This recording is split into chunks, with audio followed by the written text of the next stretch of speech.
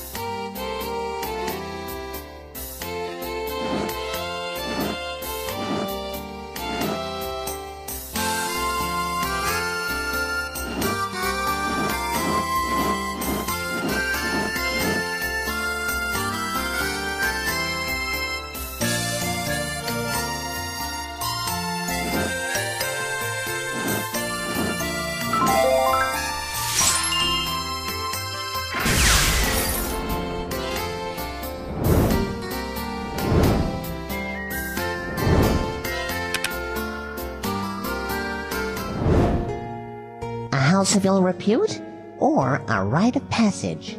Either way, the employees are dedicated and hardworking. The owner, Lou Heffer, offers this to every client. Satisfaction guaranteed or your reputation back.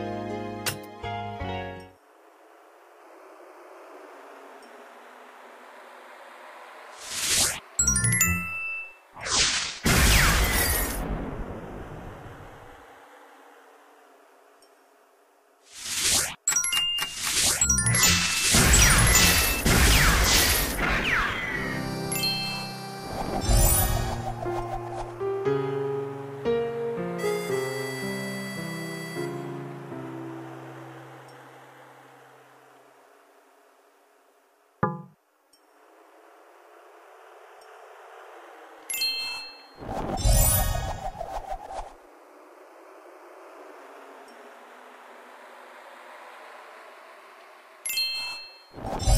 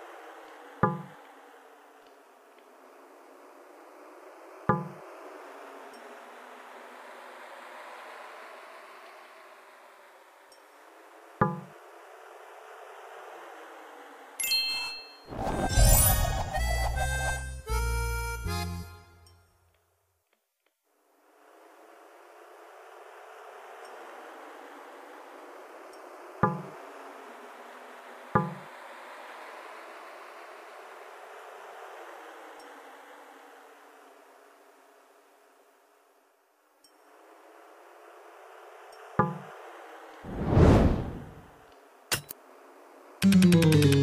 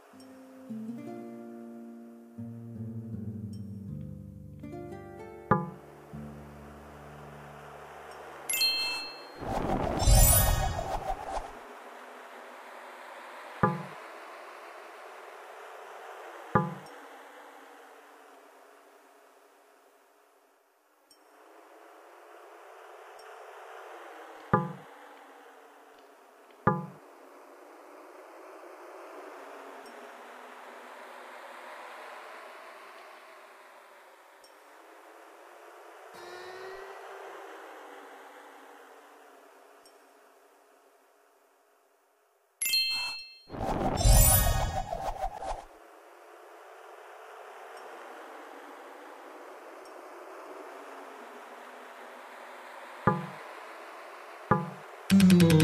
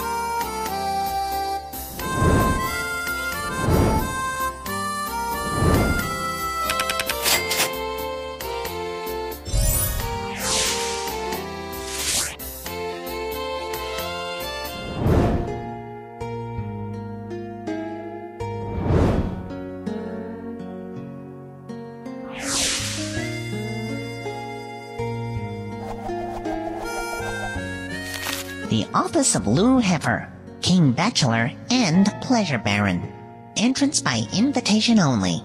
Unless you happen to know the password. I actually managed to get a job there once. An experience that shall remain forever burned into my brain. Hmm. Who knew dresses and wigs could be so itchy?